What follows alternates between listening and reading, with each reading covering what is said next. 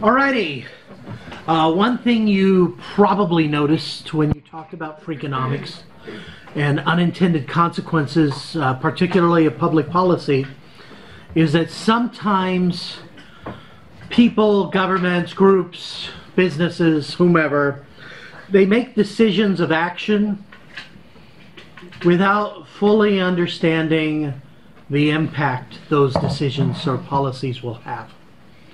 Now, sometimes it's something that is completely unforeseen and it's reasonable that no one would have thought of that.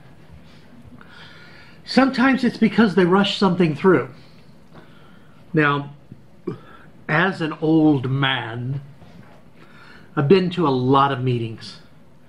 Universities, departments love to have meetings. The departments love to have meetings. The, the actual people going to the meetings, not so much.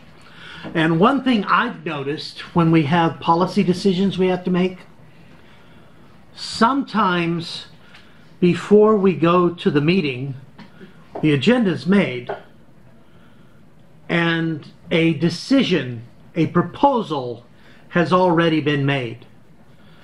And the meeting is about do we approve this proposal or not? And where we talk about it, but we don't really have time to fully explore it. Because some some places, some of you are members of clubs, and sometimes your clubs have to make decisions. Sometimes the person in charge has already made the decision and they just kind of want you to say, okay, let's do that. But there, there may be other things involved which people haven't thought of. And so sometimes you make a policy decision, and then the next meeting you have to have another policy decision to fix something that that decision broke that no one had expected. Sometimes these policy decisions have strange consequences, but there's not a lot you can do. You're either doing one thing or the other there's damage one way or the other. For instance, I talked about the unintended consequences of helmet laws in Taiwan for motor scooters and motorcycles.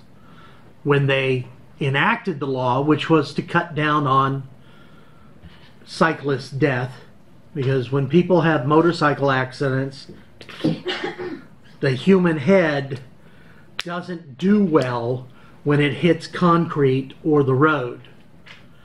And so that trauma left a lot of folks dead. So they said, wear helmets. And it did the intended thing.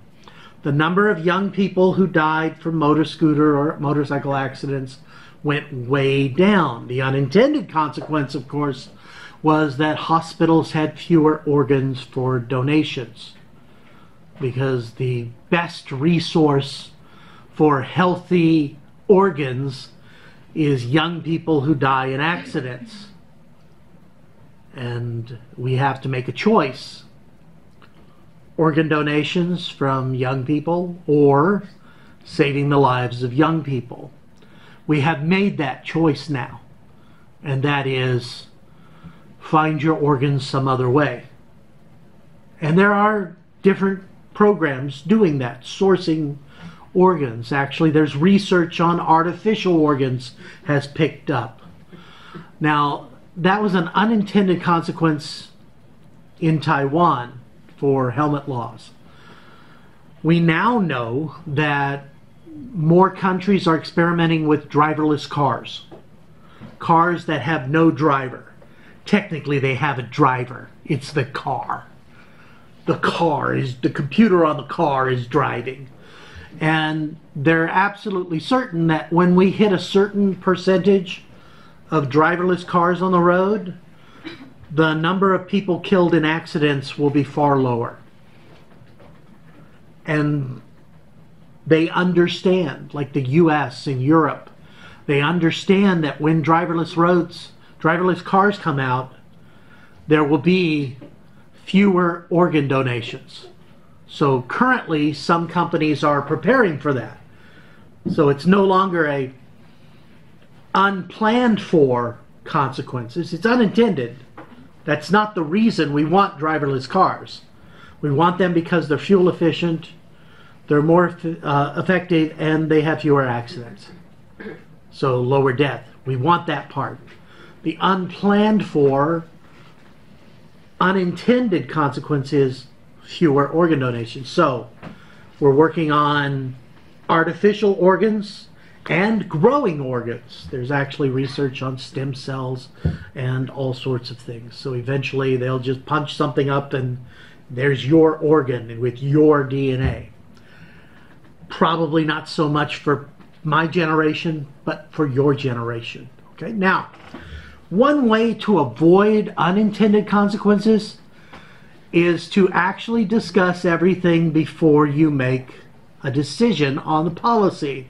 And that gets us into Dewey's reflective thinking pattern. Whenever you need to make public policy or just policy decisions, follow Dewey's pattern. And Dewey gives us this five simple steps to follow. Number one, limit and define the problem and define your terms. It's amazing how many people have policy discussions where they think they're talking about one thing and the guy on the other side's talking about something else. Now, sometimes this is a rhetorical gambit. They do it on purpose. Pro life, I'm for life, implies you're pro death if you support legalized abortion. Or I'm pro choice implying you're anti-choice if you're against legalized abortion. Those are those are terms that are defined in a way to weaken the other side. But sometimes we don't define our terms well at all. For instance, years ago, there was a big debate in Taiwan about legalized prostitution. Okay? Now, prostitution technically is legal in Taiwan for certain areas and by certain licensed prostitutes. The government used to give licenses to prostitutes. You would go down and say, Hi, I'd like to be a prostitute. And you fill out a form and they give you a license. They haven't given a new license in decades. So the licensed prostitutes are older than me, which kind of gives them a problem making a living. Okay? There are no licensed young prostitutes.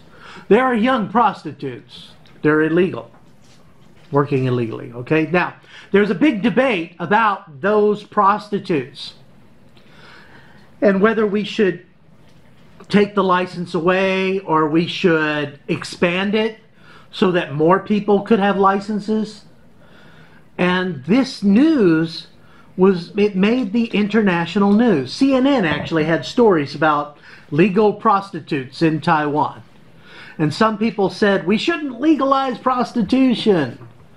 And they were actually talking about different things. For instance, when the people in favor of legal prostitution were saying we should legalize more prostitutes, yay! Uh, they weren't talking about all prostitutes. They were talking about consensual prostitution.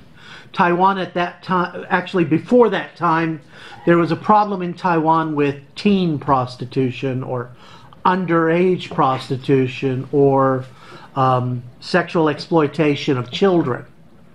These are not as serious a problem today because we have dealt with these problems very effectively.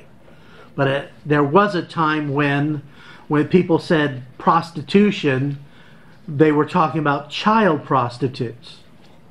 So when people said, I think prostitution should be legal, other people were hearing child prostitutes are cool. But that's not what they were actually saying. Or are we talking about prostitutes of any gender? So when someone says prostitution should be legal, are they talking about just women? Most of you, when I say legal prostitutes, you think of women. Some of you think of guys. Some of you think of gay guys. And some of you think of puppies, and you should stop that. but there is a factor. So, first, we limit the problem so that we can talk about it in a reasonable time. And we also define the terms. So, when I talk about legal prostitution or when I talk about legalization of drugs, which drugs am I talking about? What schedule? Am I just talking about marijuana? Or am I talking about marijuana, heroin, LSD, and coffee? So, which drugs are you talking about? Okay? So, first, limit and define the terms so that you can have policy decisions that are agreed upon by all factors and they understand the terms and how it's being done. Then we analyze and evaluate the problem. You have to look at the history of the thing.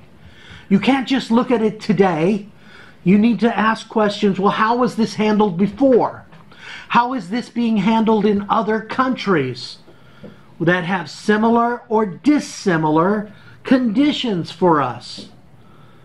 If we're talking about legal prostitution or legalizing drugs, let's take a look at countries where it's legal. And we ask questions of how would that work out in Taiwan? Are there enough similarities to their conditions, or are they so dissimilar it doesn't work? Why is prostitution illegal here for the most part? Why are drugs, why is marijuana illegal in Taiwan? It is illegal, right? Yes, it is. People get to go to happy, happy prison. It's not really happy because of marijuana. Okay? Why? Why is it illegal here? There's very good evidence that Taiwan is one of the first places on this planet where humans cultivated marijuana. The oldest archaeological evidence of marijuana use is Taiwan. So, why is it illegal now? Since they used it so long ago. There's many real reasons for that, okay? Why is alcohol not illegal? Why is it legal to have alcohol or tobacco, which are drugs, but not other drugs? So we have to ask these questions. Okay? And we come up with the answers. We do the history. We look at everything we can and analyze and evaluate it. That should take the longest part of your discussion. Not, oh, it's illegal now. That must be good. Okay, move on. That, that's not enough. You really need to look at every aspect of an issue in order to determine what are the conditions. All right? Once you've done that step, then you go to step three establish criteria or standards by which solutions may be judged whether we can determine solutions are good or bad. Too many people, they start the discussion with, well, I think it should be illegal. There, we're done. No, don't have preconceived con- solutions. First, go through your definitions, evaluations, then establish standards, criteria by which you can judge this is going to be a good thing or a bad thing. And you'll look at public good, you'll look at personal good, you'll look at how effective things are. What are your standards? Once you have your standards by the personal your personal ones and the group goals. For instance, you sir have values. Or I don't know, do you? Do you have any ethics? Are you an ethical person? Yeah, maybe. Notice how he said that, yes? Like it's a question. I'm not sure. I'm positive you have values. Now, whether your values suck or not, we have to talk a bit. But you have personal values. All right, and some of your personal values are in line with the group's values. most people in the group share certain of your values. Certain of your values most people may not share. Okay?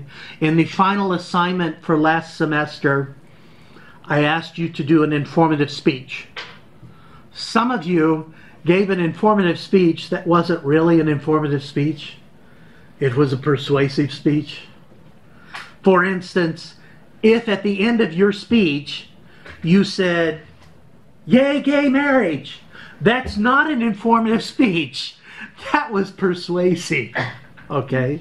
Informative speeches just give us information. All right? Don't worry, you're going to get a chance to do opinions and rants and persuasives. And part of that is you know your values. Some of you, for instance, are in favor of legalizing gay marriage. Not civil union, but marriage. Same as other straight people. Some of you might be opposed to it. It's based on your personal values. Now, some values can be separated from us, and we can say, well, that's my personal value, but here's the group value. So your standards need to work for the group and for your check your personal goals as well. Once you've got those standards that everyone's agreed upon, then we go to four. And that's the only time we start proposing solutions. What should we do? What are the possible solutions we think might work? Okay? And then we evaluate those solutions that are based on promoting individual and group values we evaluate them based upon the criteria. And from evaluating them, we select the best solution. Now, I'm in a group, I want my values to be the ones that are chosen. But I can actually understand sometimes I might disagree with you, not because of a universal value, but a personal value. We have to discuss that. Sometimes we compromise so that the group has the best solution. Okay? The gay marriage debate is similar to that. There are personal values and there are group values. Right? There are people, for instance, who live in countries where gay marriage is legal, who voted for legalizing gay marriage even though their personal religious views are that it's a sin to be gay. But they understood that that's my personal value, that's a religious value. My religion is not the only religion in this country. I shouldn't push it on everyone. I just don't do that thing myself. So if I don't think gay marriage is right, I just don't get gay married. Yay. Okay. And that's an example, by the way, that's not my personal values. My personal values are very different from that. Okay? So then we establish our criteria, we propose solutions, and we evaluate them based on our, our values that we agreed upon and choose the best. And Dewey's reflective thinking pattern has been used in many public policy discussions. And it has been found to be very effective at lowering unintended consequences. Because if you do all this, you're less likely to have something happen that you didn't foresee. You discuss it, and you've made a choice based on the group values that are happening. Now, of course, there'll still be some people who might disagree with your policy decisions. And that's where you'll do further discussion later. But you'll find that your policy decisions are less likely to have challenges and problems if you follow Dewey's reflective thinking pattern. Some of the Freakonomics examples you guys have been talking about today they didn't do that. They just had some idiot come up with an idea based on political things. Catering, some politicians do a thing called cater to the base. So they have a base support that has certain values and beliefs, and they cater to them even though they know that's not really going to do what they say it's going to do. For instance, I might cater to a homophobic group, a base that is predominantly homophobic, by saying I'm against gay marriage, even though I know that solution's not going to do good. Or I might cater to xenophobes. Xenophobes are people who are afraid of foreigners or, or don't like foreigners. I say, I'm going to build a wall because it's a big policy that they can see and they can agree with, even though I know that's not going to solve immigration issues, many of them. Thank you. We must stop now. Bye bye.